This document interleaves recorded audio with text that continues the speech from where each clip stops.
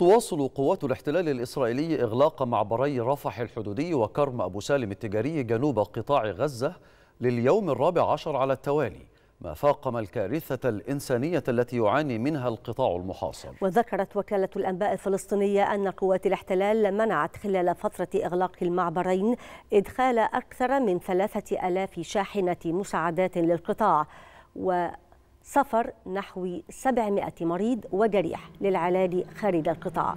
كان برنامج الأغذية العالمي قد أكد الحاجة لوصول آمن ومستدام للمساعدات من أجل منع المجاعة في شمال قطاع غزة ولكن أوامر الإخلاء الإسرائيلية حالت دون ذلك.